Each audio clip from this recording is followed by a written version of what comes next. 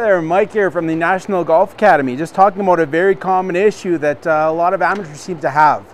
As we know, the swing is trying to be rotational, but because of other sports, a lot of the times what happens is people start to get lateral.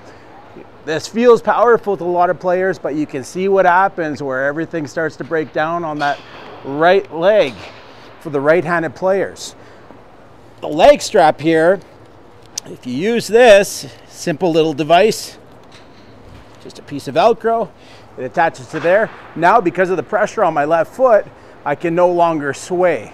So ideally, what we want to try and do is make sure that we're turning everything. As you can see, my hips are now turning. I'm not going laterally.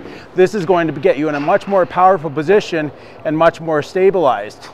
So from the side view, instead of moving to the side, you can see where my hips are turning. I'm in a much more powerful position we get down there, I'm in the proper spot.